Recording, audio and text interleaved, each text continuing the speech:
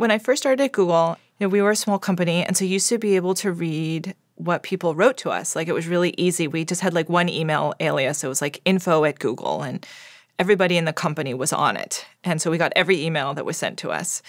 And the one that I remember was this person who said, you know, I had this illness and I couldn't find any kind of solution. No doctor could help me, um, but I was able to figure out what my problem was by using Google and um, I was able to connect to the right doctor. And like within a day, you know, I was already seeing that doctor.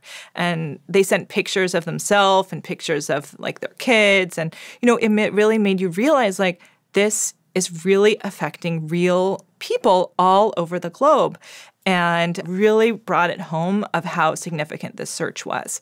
And Google always saw providing great search as our mission.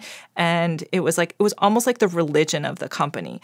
And we realized that there were people all over that were really dependent upon it and that, um, that we needed to make sure that, that that stood as the most important thing that we could do.